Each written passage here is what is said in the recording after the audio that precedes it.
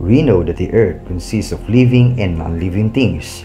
There are trees, animals, people, landforms like mountains and hills, and water forms like river and sea. But do we ever notice the existence of minerals and their importance? In this video, we're gonna be talking about the two kinds of minerals that we can find in rocks. The first mineral is the augite. Augite is a dark green or black aluminosilicate minerals of the pyroxene group. It occurs in many igneous rocks, including basalt, gabbro, and diabase. If you look at its shape, it has a square or rectangular cross-section. However, it has no industrial value. The presence and development of augite may help tell scientists and geologists about Earth's history in certain regions. The second mineral is the hornblende.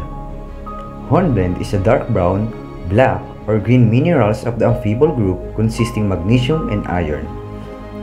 It occurs on igneous and metamorphic rocks. Hornblende is being crushed and used in road construction and railway ballast.